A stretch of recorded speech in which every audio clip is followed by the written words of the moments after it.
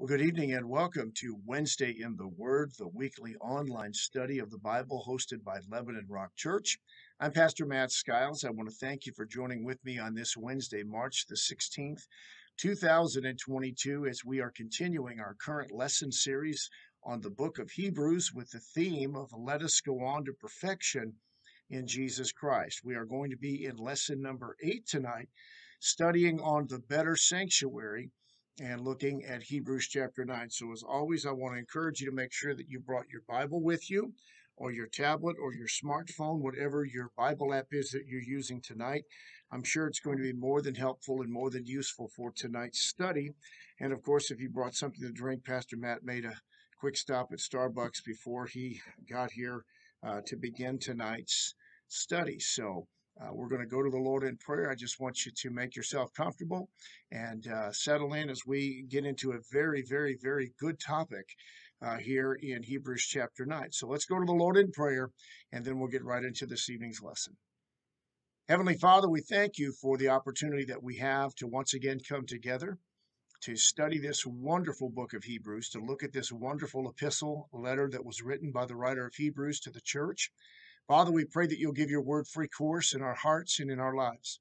Father, we ask that you will just anoint the teacher that brings the message. We pray that the lesson would have free course and that the lesson would touch hearts and lives. And Father, we thank you for the opportunity we have to come together in this online study and to study the Word of God. For we know faith comes by hearing, and hearing by the Word of God.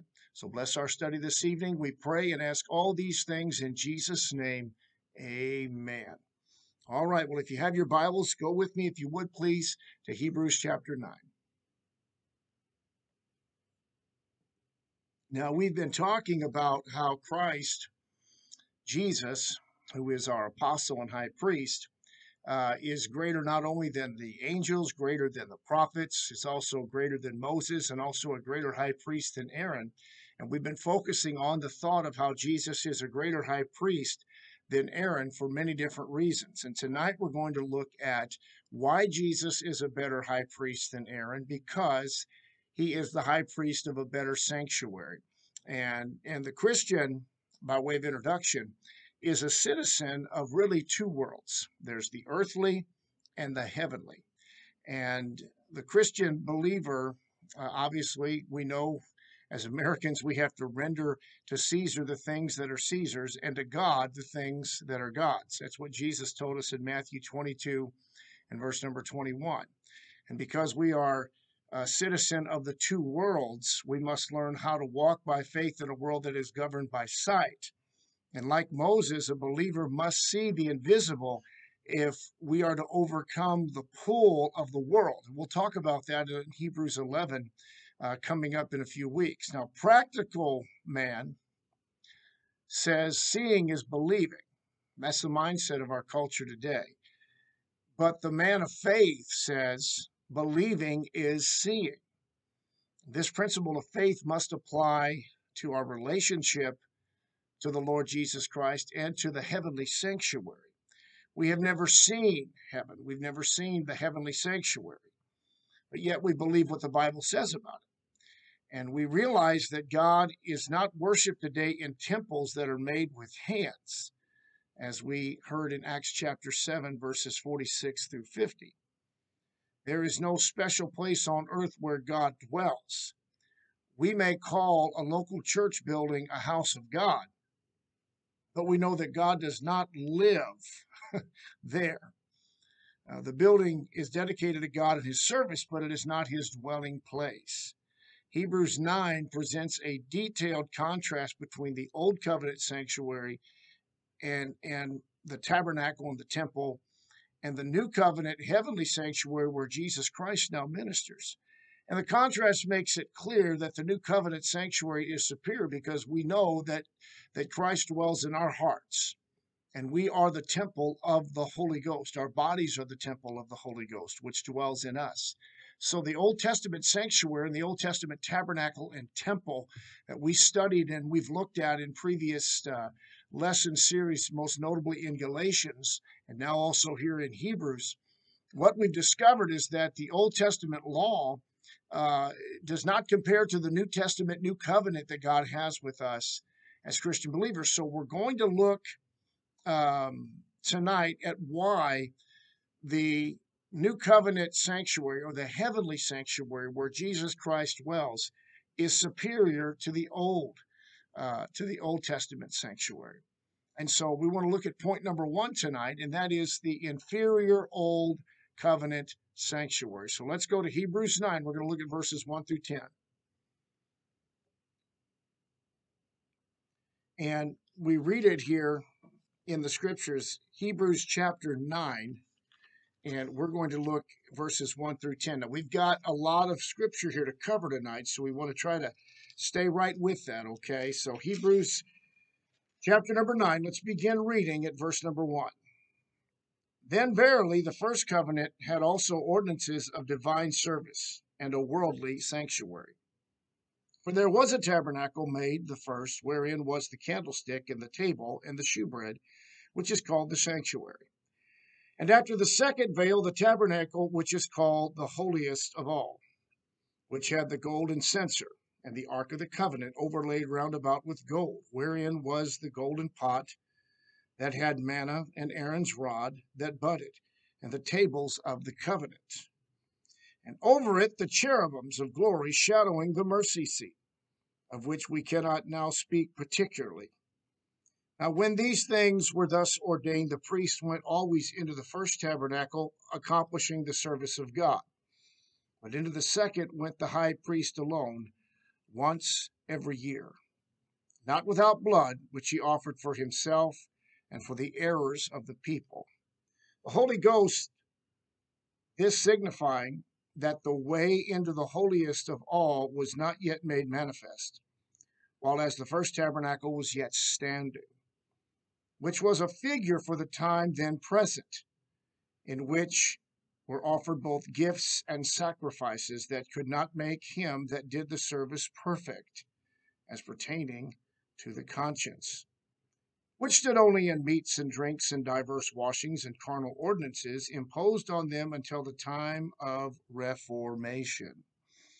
Now, the writer of Hebrews reminds the readers, these Christians that are reading the letter, of the regulations, the rituals, and the practices in the tabernacle and, and how they were ordained of God. And if there was any inferiority in the tabernacle service, it was not because God had not established the ritual. So, um, while the old covenant was enforced, the ministry of the priests was ordained by God and was perfectly proper in the eyes of God. What was it then that made that tabernacle inferior? Well, there's five answers to that question here in this first point. Uh, one of the reasons why it was inferior is because, first of all, it was an earthly sanctuary.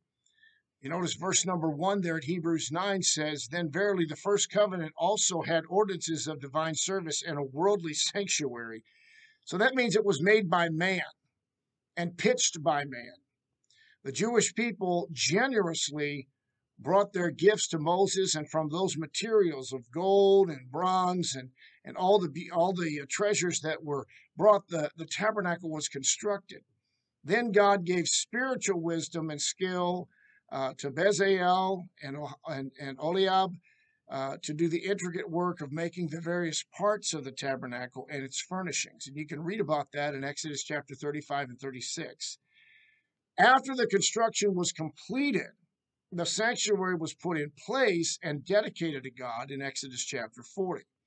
Even though the glory of God moved into the sanctuary, that is the Holy of Holies, it was still an earthly building constructed by human beings out of earthly materials. So, being an earthly building, it had several weaknesses. For one thing, it would need a certain amount of repair. Also, uh, it was limited geographically. Uh, if it was pitched in one place, it could not be in another place. It had to be dismantled and the various parts carried from place to place. And as the children of Israel wandered in the wilderness and uh, walked and traveled, the tabernacle would be broken down, taken apart, and would be uh, set up again uh, at the next spot where they camped and where they were located.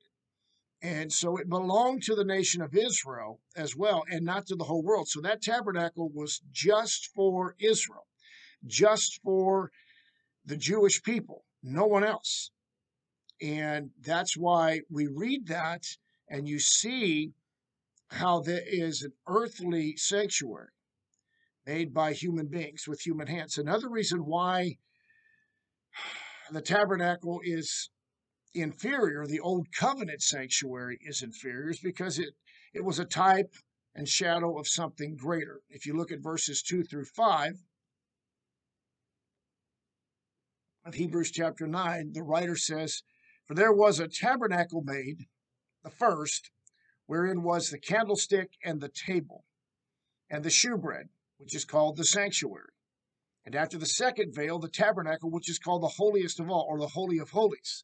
Verse 4 Which had the golden censer, and the ark of the covenant overlaid round about with gold, wherein was the golden pot that had manna, and Aaron's rod that budded, and the tables of the covenant, and over it the cherubs of glory shadowing the mercy seat, of which we cannot now speak particularly. So the writer here begins to list all the various furnishings and elements and parts of the tabernacle because each one of those uh, each one of those uh, furnishings in each one of those parts of the sanctuary uh, had a special meaning uh, they were patterns of things in the heavens, as Hebrews 9 and 23 says, and we'll talk about that shortly here.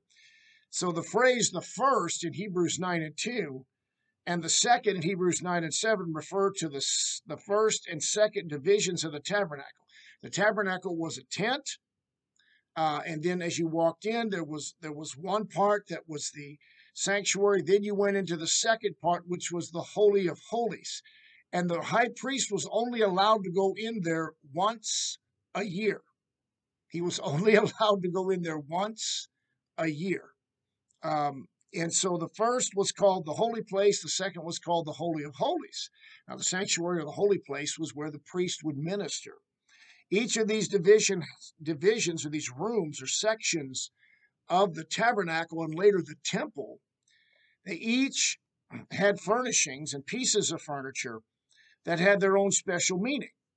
In the holy place, which was the sanctuary, stood the seven branded golden lampstick, candlestick lampstand. And, and lampstand was would be the term that I would, would, would use because the light was produced by the burning of wicks in oil, not by the use of candles. And since there were no windows in the tabernacle, that lampstand, that candlestick lampstand, provided the necessary light for the priests ministering in the holy place. The nation of Israel was supposed to be a light to the nations. And, and Jesus Christ is the light of the world, as he said in John 8 12. And believers are to shine as lights in the world, as Philippians 2 14 and 15 tell us. There was also a table in the holy place or in the sanctuary with 12 loaves of bread on it. It was called the table of showbread. Now, each Sabbath, the priests would remove the old loaves and put fresh loaves on the table, and the old loaves would be eaten. These loaves were called the bread of presence, and the table was called the table of presence. Only the priests could eat the bread, and they were required to eat it in the sanctuary. It reminded the 12 tribes of God's presence that sustained them. It also speaks to us today of Jesus Christ, the bread of life given to the whole world. The golden altar stood in the holy place just in front of the veil that divided the two parts of the tabernacle. The word translated censer, a device for burning incense, should be called altar. Now, the golden altar did not stand in the Holy of Holies, but its ministry pertained to the Holy of Holies. In what way? On the annual Day of Atonement, the high priest used coals from this altar to burn incense before the mercy seat within the veil. And that's found in Leviticus 16. And, and we read here Moses related the golden altar to the Ark of the Covenant. And so did the author of 1 Kings chapter 6 and verse 22. Each morning and evening, a priest burned incense on this altar David suggested that it is a picture of prayer ascending to God in Psalm 141 and verse 2. Now, it can be a reminder that Jesus Christ intercedes for us, as Romans 8 33 34 says. You know, and, and so, and, and also I want to say if you want more details about the incense altar, you can just go to the 30th chapter and the 37th chapter of the book of Exodus, and that explains it in more detail. Uh, but the incense itself is described in the 30th chapter of Exodus, and the Holy of Holies contained the Ark of the Covenant a wooden chest, three feet nine inches long, two feet three inches wide, and two feet three inches high.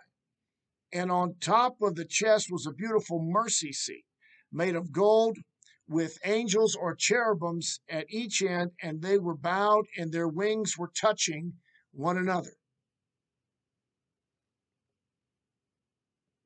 This was the throne of God in the tabernacle in Exodus chapter 25, verses 10 through 20, and in Psalm 80 and in Psalm 99.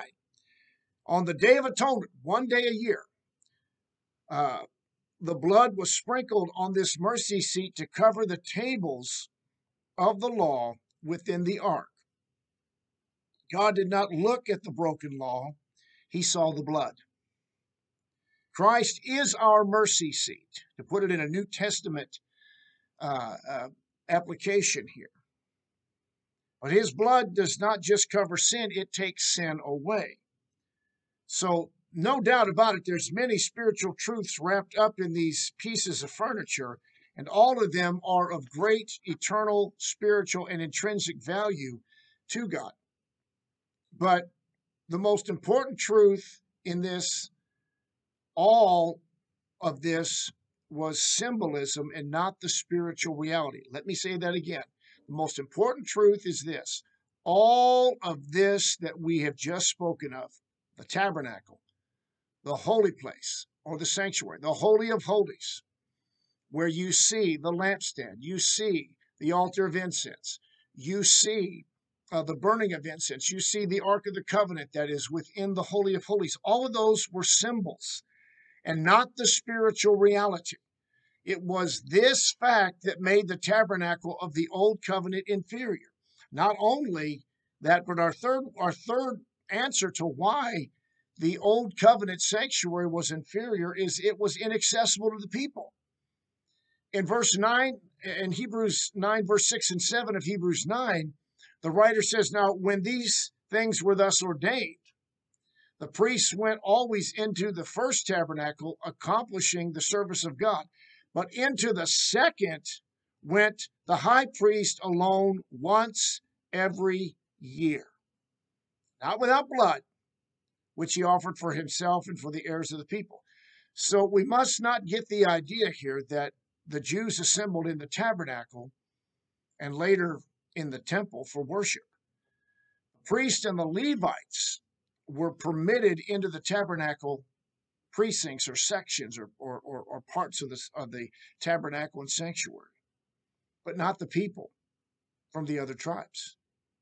Furthermore, though the priests ministered in the holy place day after day, only the high priest, once a year, entered into the Holy of Holies. And and when he did that, he had to offer a sacrifice for his own sins as well as for the sins of the people. Now, in contrast, the heavenly tabernacle where Jesus dwells is open to all of the people of God and at all times.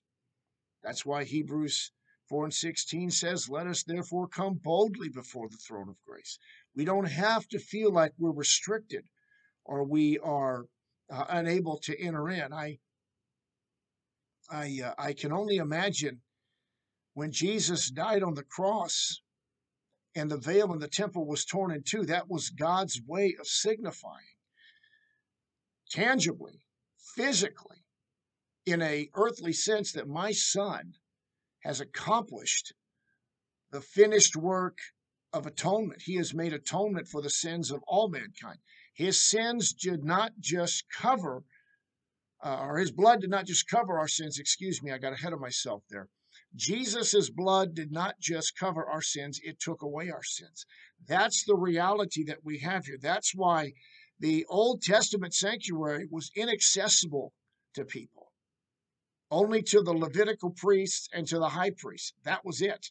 All the other tribes, people, and and and, and members of the tribes and, and and and the people of God and people of Israel, all the Jews were not allowed to, to, to be a part of it and so there was no accessibility there.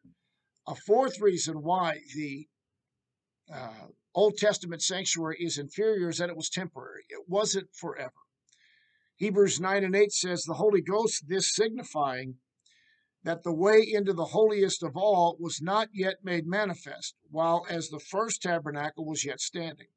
The fact that the outer court, or the first tabernacle, uh, was standing was proof that God's work of salvation for man had not yet been completed. The outer court stood between the people and the Holy of Holies. As long as the priests were ministering in the holy place, the way had not yet been opened into the presence of God. But when Jesus died on the cross, the veil of the temple was torn from the top to bottom, and the way was opened into the Holy of Holies. I want you to go to Matthew chapter 27, if you would please. Matthew chapter 27, and find verse number 50. I'll give you a second to find that.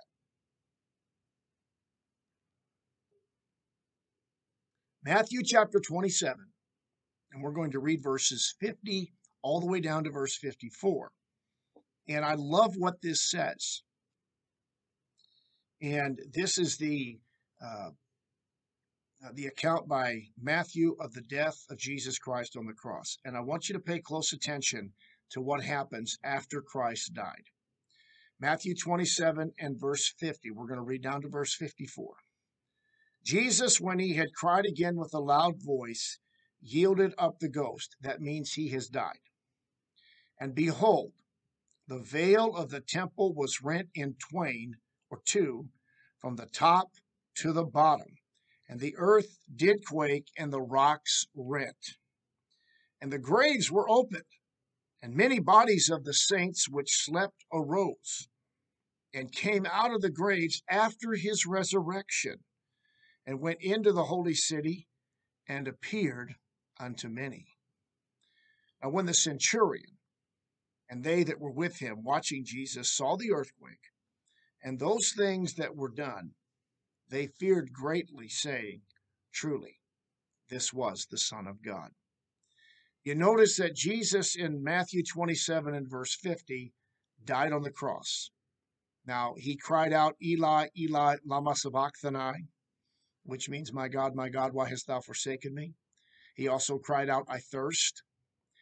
Uh, he also cried out uh, at the very end, Father, into thy hands I commit my spirit.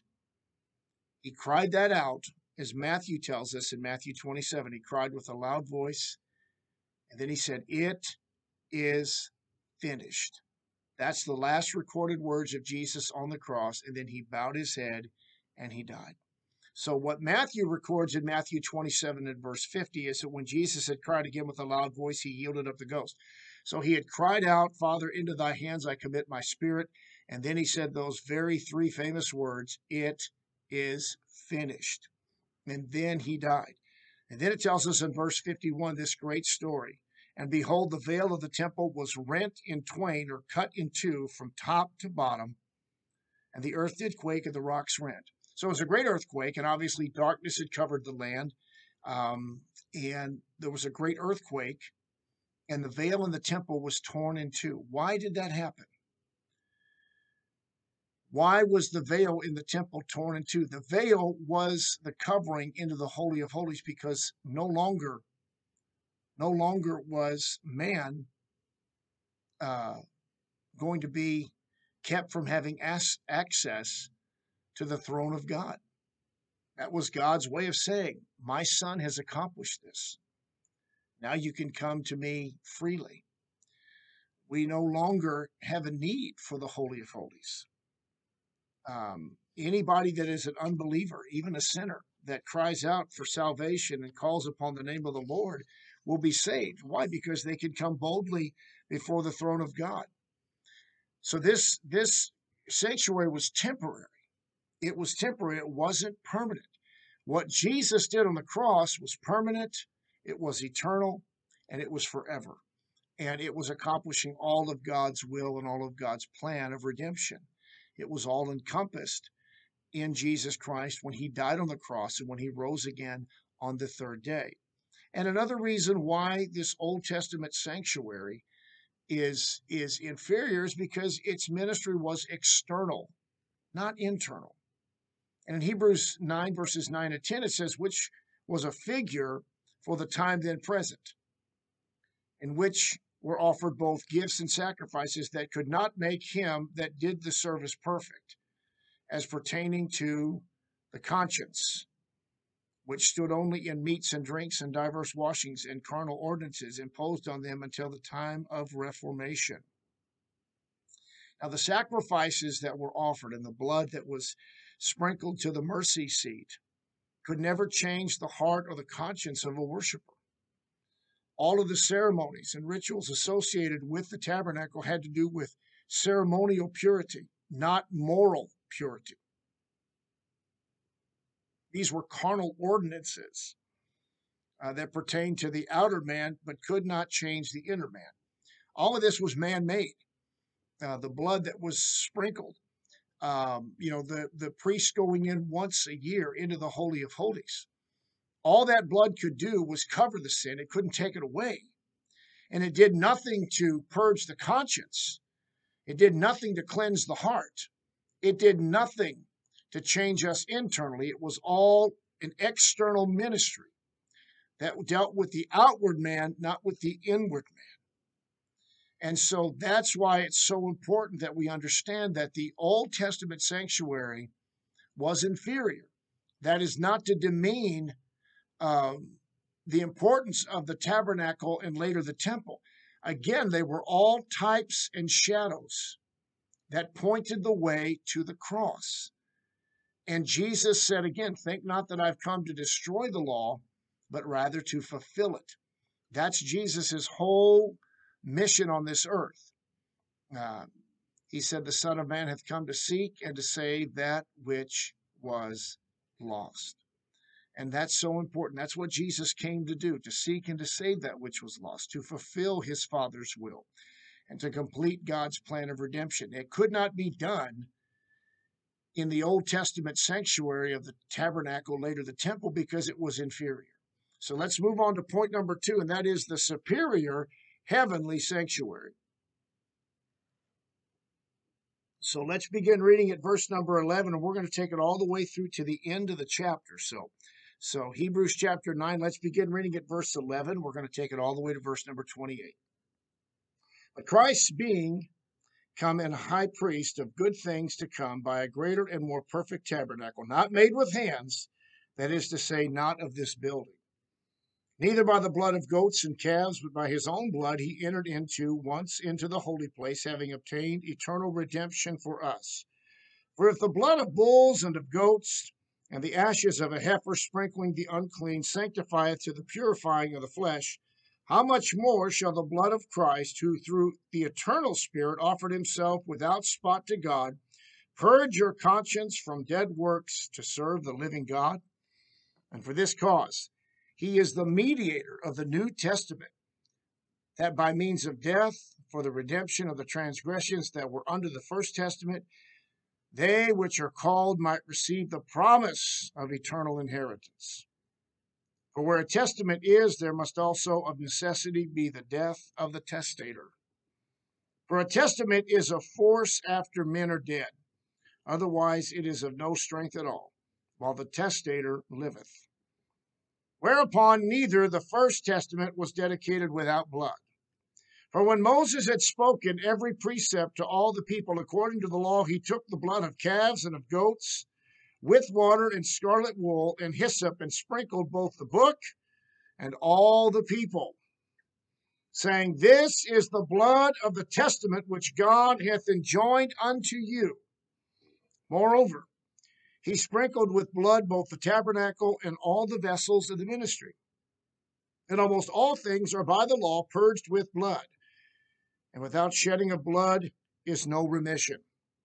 It was therefore necessary that the pattern of things in the heavens should be purified with these, but the heavenly things themselves with better sacrifices than these. For Christ has not entered into the holy places made with hands, which are the figures of the true, but into heaven itself, now to appear in the presence of God for us. Nor yet that he should offer himself often, as the high priest entereth into the holy place every year with blood of others. For then must he often have suffered since the foundation of the world. But now, once in the end of the world, hath he appeared to put away sin by the sacrifice of himself. And as it is appointed unto men once to die, but after this, the judgment. So Christ once offered to bear the sins of many, and unto them that look for him shall he appear the second time without sin unto salvation. A lot of scripture there to cover, but there's five deficiencies that we looked at uh, of the old covenant sanctuary. And now we line them up with the five superiorities of the new covenant sanctuary because we looked at point number one uh, about the the Old Testament sanctuary being inferior. Now we're looking at point two at the heavenly sanctuary being superior, and it is. And the reason why is we have five reasons for why the heavenly sanctuary is superior to the Old Testament sanctuary. First of all, it is heavenly. You look at verse number 11, you see very, very quickly there, uh, in verse number 11, uh, it says, But Christ being come a high priest of good things to come by a greater and more perfect tabernacle, not made with hands, that is to say, not of this building. So the writer emphasizes this fact before because he wanted his readers to focus their attention uh, on the things of heaven, not on the things of the earth. And some things on earth, including the beautiful, Jewish temple, would soon be destroyed. But the heavenly realities would endure forever. The old covenant tabernacle was made by the hands of men, as we talked about. The new covenant heavenly sanctuary was not made with hands not of this building, as Hebrews 9 and 11 says, which means it's not of the earth's creation. The heavenly tabernacle needed no such materials like we see in the Old Testament sanctuary. Since the heavenly tabernacle does not belong to creation, it's free of the ravages of time. It's eternal. It is a heavenly sanctuary. And, and really, if you think about it, the tabernacle of the Old Testament was patterned after the sanctuary in heaven. But we no longer need the pattern. We have the eternal reality. So, the first reason why the heavenly sanctuary is superior to the Old Testament sanctuary is because it's heavenly, it's not made with hands. Secondly, um, the heavenly sanctuary is superior because its ministry is effective in dealing with sin. We have a series of contrasts that show again the superiority of the heavenly ministry. First of all, in verse 12, you see the sacrifices of animals versus the sacrifice of Christ.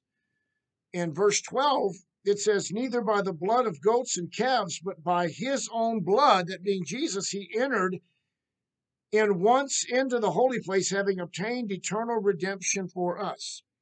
So the writer here shows that how, you know, that how these animal sacrifices were inferior. And we're going to look more at that in, in chapter 10 next week. Jesus Christ and his sacrifice is far superior to the blood of goats and bulls and, and lambs and sheep and animals because the blood of an animal could never solve the problem of humans and their sins. Jesus Christ became a man that he might be able to die for the sins of mankind. His death was voluntary. It is doubtful that any Old Testament sacrifice ever volunteered for the job. I doubt very seriously that any animal wanted to be killed. But an animal's blood was carried by the high priest into the Holy of Holies. But Jesus Christ presented himself in the presence of God as the final and complete sacrifice for sins. Of course, the animal sacrifices were repeated over and over and over and over. Jesus Christ, praise the Lord, offered himself once. And also, no animal sacrifice ever purchased eternal redemption. As I said time and time again in this lesson so far, the blood of these animals can only cover sin until the time when Christ's blood would take away sin. In John chapter 1 and verse 29, we read where John the Baptist said, Behold, the Lamb of God, which taketh away the sins of the world. Um, and that's what Jesus did. We have eternal redemption. It's not conditioned on our merits or our good works, but it is secured through the finished work of Jesus Christ. Also, a second reason why we see the, the ministry was effective in dealing uh, with sin, the, the heavenly sanctuaries because the ceremonial cleansing versus the cleansing of conscience. Verse 13 and 14 says, For if the blood of bulls and of goats and the ashes of a heifer sprinkling the unclean sanctify to the purifying of the flesh, how much more shall the blood of Christ, who through the eternal Spirit offered himself without spot to God, purge your conscience from dead works to serve the living God? So we see there where he's saying that if the blood of these animals you know, um, could could sanctify the purifying of our flesh, how much more is the blood of Jesus going to do? Because Christ accomplished the eternal redemption. As I said again, all the blood of these animals did was just cover sin. Jesus took it away. So the writer's saying if the blood of, of, as he said there, if the blood of bulls and goats and the ashes of a heifer sprinkling the unclean sanctifies to the purifying of the flesh. He said, if that could just ceremonially, ceremonially make us clean, how much more greater is the blood of Jesus going to accomplish that? That's what it is. You know, the Holy Spirit does the work. The Holy Spirit does the work. And so not only are we washed in the blood of Jesus Christ and our clean and our sins are forgiven and we are cleansed and purified, but it is the Holy Spirit, the Holy Ghost of God, that continues to cleanse and purge our conscience. That's why it's so important we understand that our bodies are the temple of the Holy Ghost. We are washed in the blood of Jesus Christ and we are made holy by God through the blood of Jesus Christ. We are given that that righteousness is imputed by the blood of Jesus Christ. We're made righteous through his blood. And we're cleansed and made whole. But the Holy Spirit can cleanse our conscience through the finished work of Jesus Christ. And also we see here another reason why again the ministry of the heavenly tabernacle is effective in dealing with sin is because we have temporary blessings versus eternal blessings. Now, the blessings under the old covenant depended on the obedience of God's people. If they obeyed God, uh, he blessed them. If they disobeyed, he withheld his blessings. Not only were the blessings temporary, but they were primarily physical rain, bumper crops, protection from enemies and sickness and, and disease, and so on and so forth. Israel's inheritance in Canaan involved material blessing. Our eternal inheritance is primarily spiritual in nature. And it's important a believer can have confidence because all that we have is in Christ and it is eternal. It's important that we understand that we have eternal blessings. We are blessed in this world, in this life, but also in the life to come. My father, who was a pastor for many, many years, would often preach and share uh, that systematic faithfulness was the key to God's blessings here on earth. If we obey God's word and we honor God and we are, are faithful to God, systematically faithful, means that it's, it's a consistent, spiritual, faithful, godly Christian life. If we do that, we will see the blessings of God. My dad preached about tithing and giving to God. He honored God his whole life. Uh, that that has passed on to me. Uh, my my father spoke highly of prayer and fasting, which I do. There is something to be said for living a godly and faithful life. But on top of that, he would also say, I'm not only thankful for the blessings that God has given me in this earthly life, but I'm thankful for the blessings in the life to come because there is eternal blessings. The children of Israel could only rely on the temporary blessings that God had given them. It was an inheritance. The land of Canaan flowing with milk and honey, that was their inheritance. Everything with the children of Israel, with the Old Testament sanctuary, with the tabernacle, later the temple, and the Levitical law of God, which we've been talking about throughout this lesson series in Hebrews, was based on temporary earthly blessings, all part of God's covenant with Israel. Jesus fulfilled the law, completed the covenant relationship. He was the king of the Jews. He came unto his own, his own knew him not, but yet he still died for the sins of mankind. Therefore, the old Testament sanctuary is inferior because the heavenly sanctuary, where Jesus Christ now dwells, seated at the right hand of the Father, making intercession for us, our great apostle and high priest, as he's described, is there in a heavenly sanctuary, which gives us eternal blessings, which will be ours someday. But while we're on this earth and we're laboring for the Lord and we're serving the Lord, if we will honor Him and be faithful to Him, we'll see that blessing in our life. That's the beauty of being a child of God and a New Testament believer and a Christian. It's because you have blessings in this life, but also in the life to come. And the third reason why um, the heavenly sanctuary uh, is superior is its ministry is based on a costly sacrifice. I don't have to go into a lot of detail here other than to tell you uh, very, very clearly that Jesus Christ paid the price for our sins. And, and, you know, it's important. I want to read verses 23 all the way down uh, to verse 25 as we continue. And the writer of Hebrews says, it was therefore necessary that the patterns of things in the heavens should be purified with these, but the heavenly things themselves were better sacrifices than these.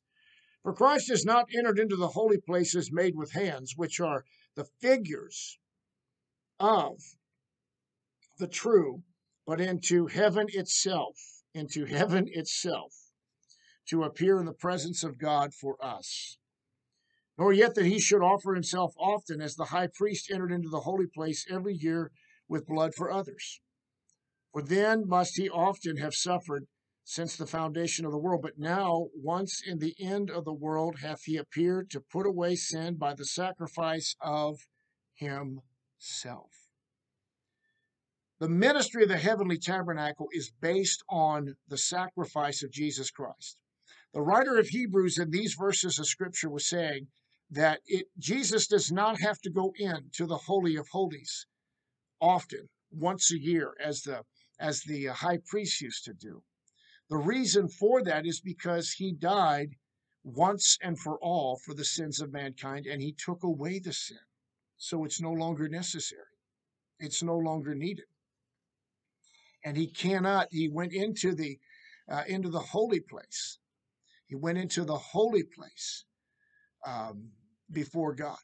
That's why he's our great mediator, he's our great intercessor.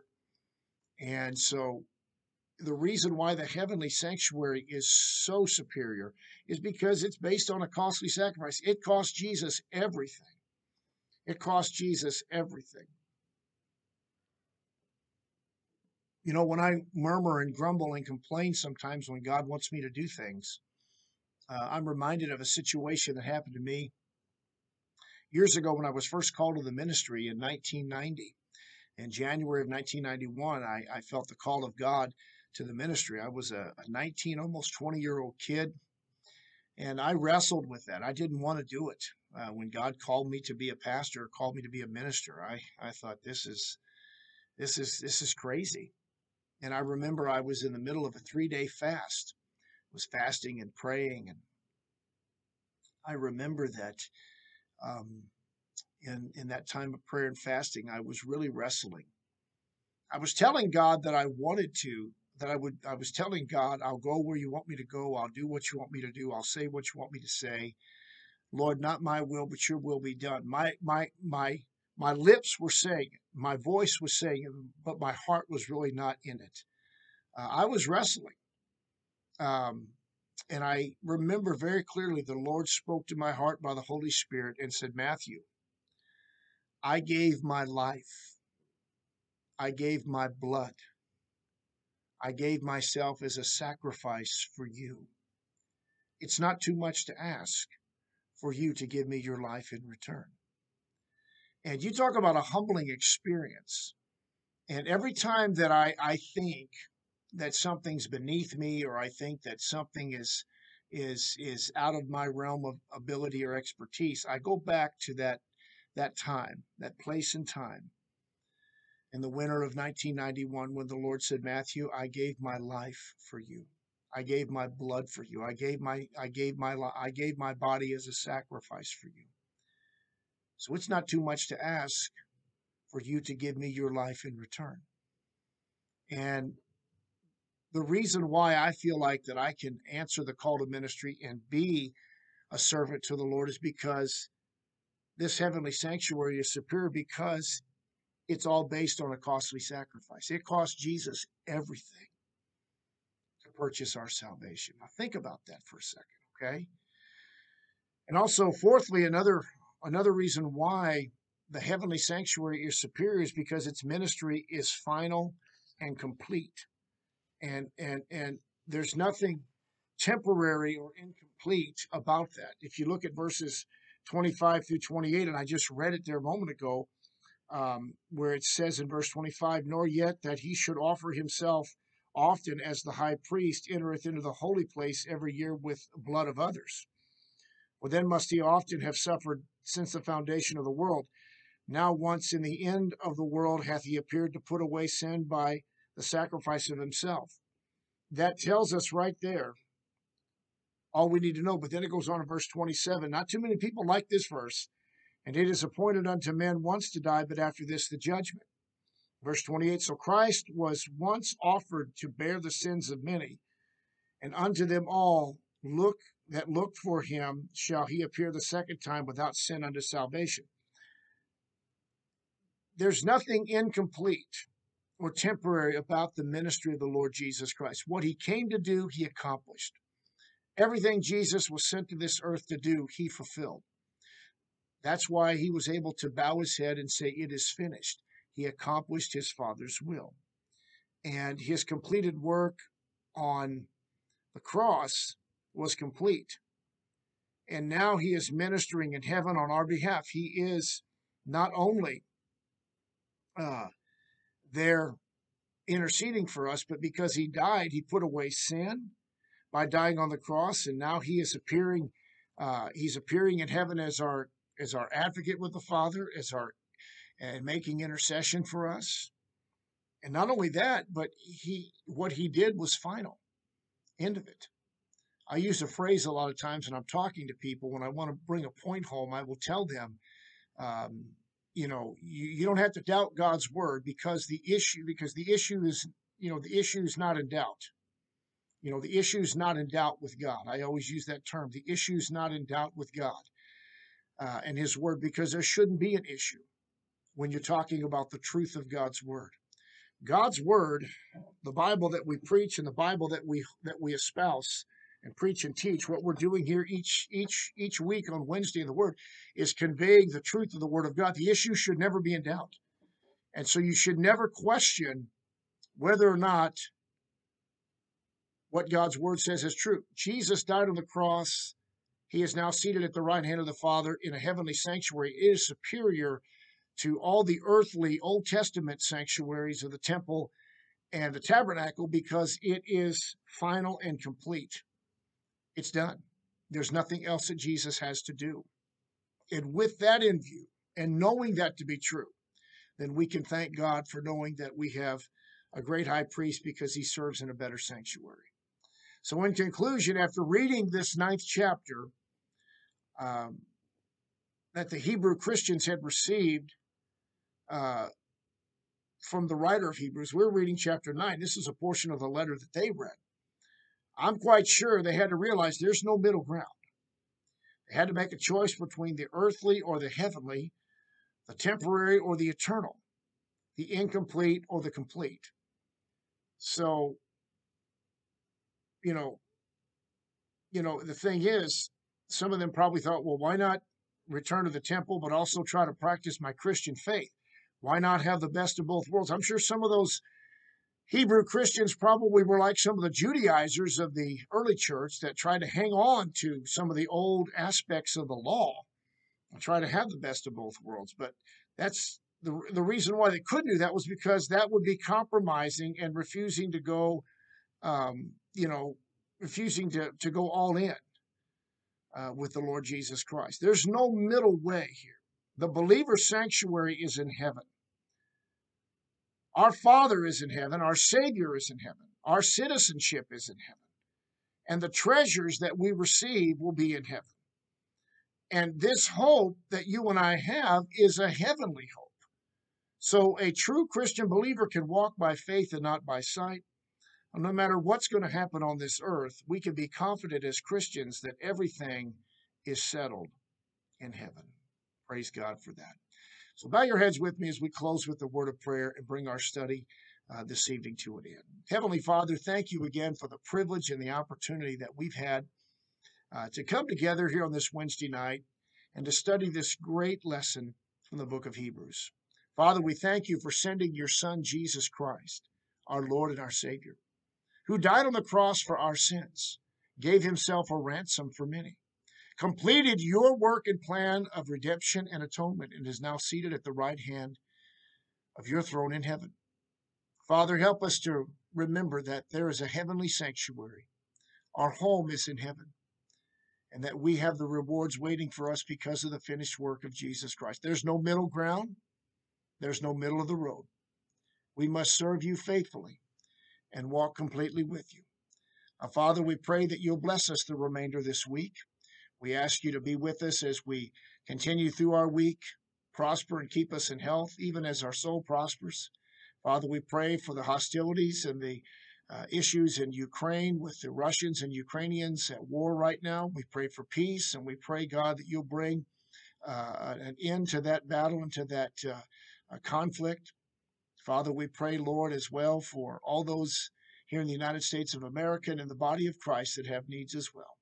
And Father, I pray personally that you'll bless, uh, be with our church this weekend upcoming as we welcome the uh, Kelly's and Wondrous Grace Ministries for our Revival Conference 2022. May the services be blessed and may your presence be strong. And Father, bless us now as we dismiss from this place of study, but not your presence. In Jesus' name we pray. Amen. Well, thank you again for being with us. And uh, just a quick reminder that this coming Sunday, March the 20th, uh, we'll begin our Revival Conference 2022. We will be in services in our in person gatherings with Marcus and Loretta Kelly and Wondrous Grace Ministries. Uh, you can join us 1045 on Sunday morning, 6 p.m. on Sunday night, and 7 p.m. nightly, Monday, Tuesday, and Wednesday. The dates are March the 20th through March the 23rd. You can look on our Facebook page, also look on our on our web on our website at LebanonRockChurch.org for more information. Uh, be sure to join us if you can. If not, we will be having our online worship service as well on Sunday, uh, March the 20th. We invite you to join us for online worship if you can't make it out for the in person services. And be sure to join us next week as we continue with the study of Hebrews as we look at chapter 10. So, from all of us here at Lebanon Rock Church, thank you for being with us. God bless you and have a wonderful day and wonderful week, the remaining ahead. And we'll see you all next time.